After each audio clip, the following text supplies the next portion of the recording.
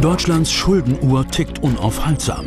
Der Schuldenberg wächst in astronomische Höhen. Knapp 1,8 Billionen Euro beträgt die Staatsverschuldung aktuell. Pro Kopf sind das 21.000 Euro. Es gibt nur eine Lösung für Deutschland, um nicht im Schuldensumpf zu versinken. Sparen, sparen, sparen. Doch wo wird der Sparhammer zuschlagen? Eins ist sicher, wir Steuerzahler werden gemolken. Die Regierung will einen Milliardensparplan vorlegen. Doch der Wille der Ministerien einzusparen ist nur bedingt vorhanden.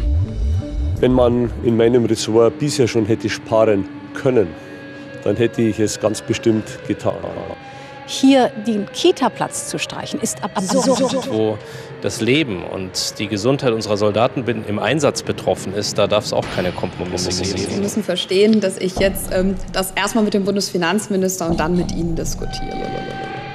Fakt ist, 2011 sollen 10 bis 2016 sogar 60 Milliarden Euro gespart werden. Schuldenbremse heißt das Zauberwort, nicht nur in den Ministerien. Viele Sparmodelle werden jetzt diskutiert. Mehrwertsteuererhöhung, Rentenkürzung, Wegfall der Pendlerpauschale, Pkw-Maut oder Streichung von Feiertagszuschlägen. Maßnahmen gäbe es viele. Die Frage ist nur, wer zahlt am Ende? Ja, und wir erweitern unsere Runde zunächst mal um Carola Ferstl, eine alte, gute Bekannte unserer Sendung. Herzlich willkommen, Finanzexpertin, Moderatorin bei NTV, jemand, der sich mit Geld und Börse nachweislich sehr, sehr gut auskennt. Und wir begrüßen sehr, sehr herzlich Professor Justus Haukapp, den Vorsitzenden der Monopolkommission, der ein ganz bemerkenswertes und sehr interessantes, auch fast schon heiteres Buch darüber geschrieben hat, was wir in Deutschland alles so an Behörden haben und was wir möglicherweise in Zukunft nicht mehr brauchen. Herzlich willkommen. Zunächst mal Frage ins Publikum. Was denken Sie? Ich bitte um Gebote. Was denken Sie, wie hoch ist Ihre, Ihre, Ihre aktuelle Pro-Kopf-Verschuldung? Schießen Sie mal eine Zahl. Wie viel? 15.000? Wer bietet mehr? Sie sind? 20.000. Ich sag's Ihnen. 20.957 Euro aktuell. Aber äh, kein Grund für ein gutes Gefühl, wird täglich ein bisschen mehr. Ja? also, was bedeutet das denn für jeden Einzelnen von uns? Das sind dann immer so theoretische Zahlen, die dann äh, veröffentlicht werden. Dann sagt man, jeder Bundesbürger hat im Augenblick so und so viele Schulden. Was heißt das denn letzten Endes? Das heißt letzten Endes, na gut, man muss es erstmal noch ein bisschen qualifizieren und sagen, es gibt natürlich gewisse Wertgegenstände mhm. oder Werte, die denen auch entgegenstehen. Äh, von Weil daher, die Bundesrepublik auch eine Menge an Besitztümern genau, wir haben eine einbringt viele in diese ganze Besitztümer. Es gibt äh, staatliche Unternehmen, staatliche Infrastruktur, die, die ist ja auch etwas wert. Äh, von mhm. daher ist das nicht alles eine reine Nettoverschuldung in dem Sinne. Aber es das heißt natürlich auch, dass diese Verschuldung irgendwann zurückgezahlt werden muss. Und da gibt es dann, das ist ja auch ein bisschen das Thema, zwei Wege, Steuererhöhung oder Leistungskürzung Darüber oder dann noch die Möglichkeit, Leistung vielleicht effizienter zu erbringen.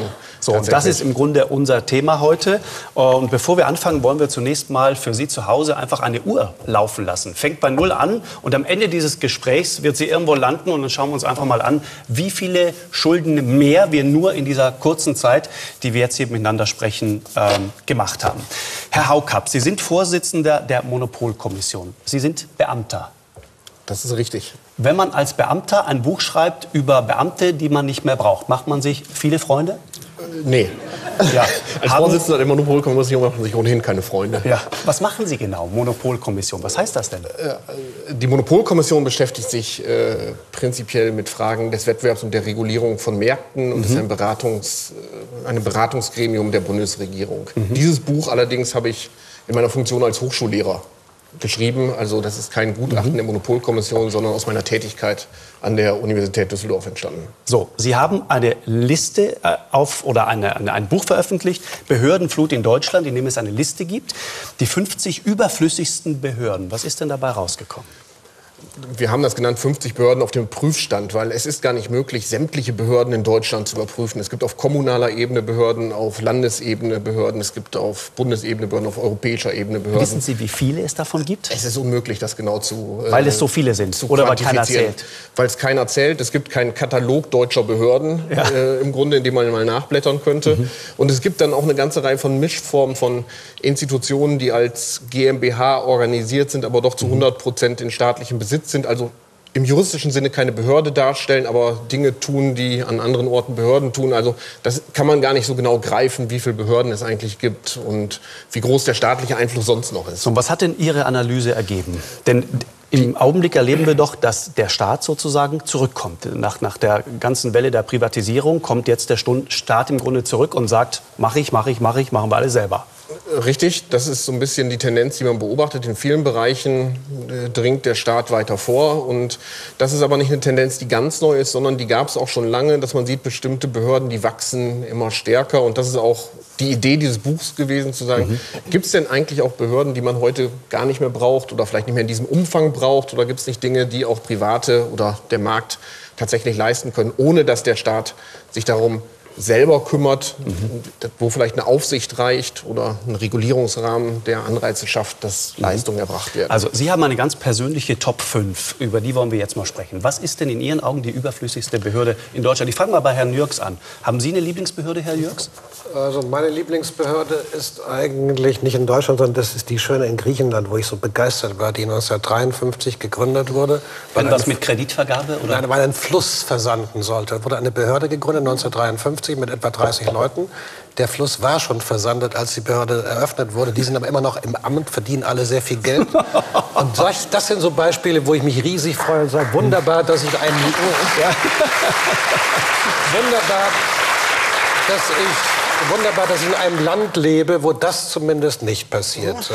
Jetzt könnte man darüber streiten, ob jedes Bundesland alle die Ministerien und Behörden braucht, die es hat ob wir noch so viele Bundesländer brauchen. Und da sind wir schon bei einer Idee, die nicht Zentralbehörde ist, sondern die darauf auszielt, dass die Erfahrungen, die Unternehmer gemacht haben in der Privatwirtschaft, auch vielleicht mal übersetzt werden auf den Staat und dadurch plötzlich ganz neue Möglichkeiten entstehen, Geld zu sparen, effizienter zu sein.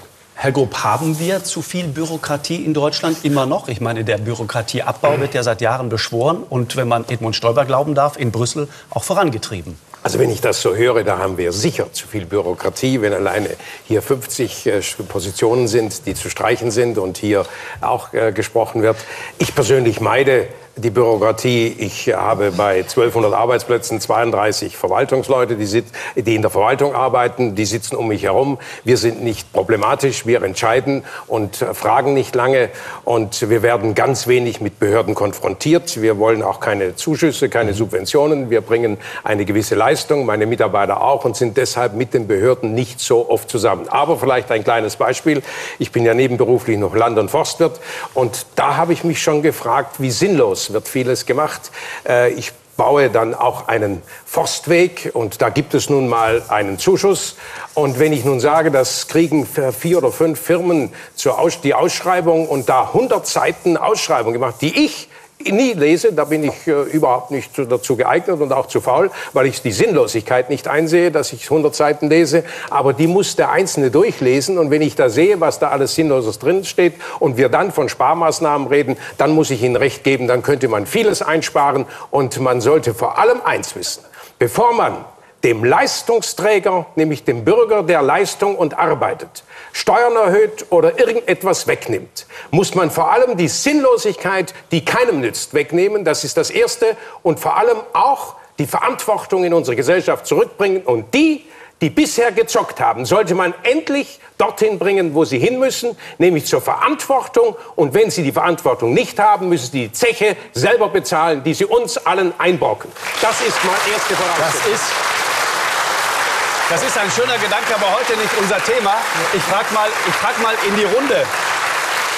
Frag mal in die Runde, Herr Grupp, weil Sie gerade Forstwirtschaft angesprochen haben. Was gibt es nicht? A, eine Behörde, die sich darum kümmert, dass man jagen kann. B, eine Behörde, die sich um Weinbau kümmert. Oder C, eine Behörde, die dafür sorgt, dass Hengste für die Züchtung bereitstehen. Hengste. Sie glauben, dass es die Hengste nicht gibt? Nicht gibt. Ich glaube, es gibt sie alle. Sicher alle. Alle? Was sagen Sie? Alle? Das ist doch unmöglich. Wieso brauchen wir eine Behörde, wissen, die sich darum kümmert, dass man jagen kann? Und einer, der sich um Jagdbehörde. So, okay, gehen wir davon aus, gibt es. aber keine Jagdscheine. Ja? Ja. Also, Herr Haukapp, klären Sie uns auf. Ja, es, äh, es gibt alle drei. Tatsächlich? Also es gibt äh, Also, Zücht, äh, Es gibt staatliche äh, Gestüte, Hengstzucht. genau, ähm, wo man sich nat- warum, das ist äh, aus der Die falsche Frage an der Tradition, Stelle. Genau, also es, sie sind nie privatisiert worden. Das, also es gab ihr